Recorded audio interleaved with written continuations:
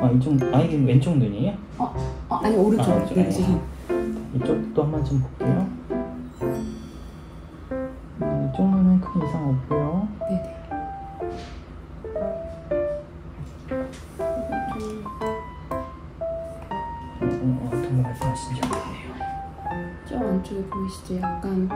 진짜 조그만한 어, 오른쪽뿐만 아니라 왼쪽에도 약간 불투명한 부분이 안쪽에 조금 있어요. 아 어, 그래서. 둘 다 백내장이 지금 가능성은 있는데 확시 그 확진을 내릴 만큼 저희가 장비가 좋은 게 없어가지고 그 정도까지는 아닌데 좀 의심이 가는 부분이 있습니다.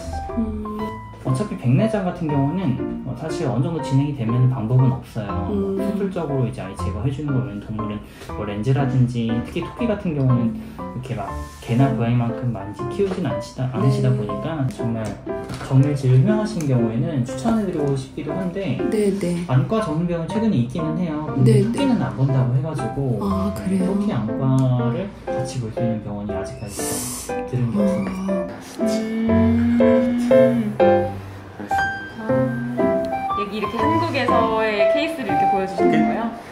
한국에서 토끼 키우는 사람 중에 뭐 주목해야 될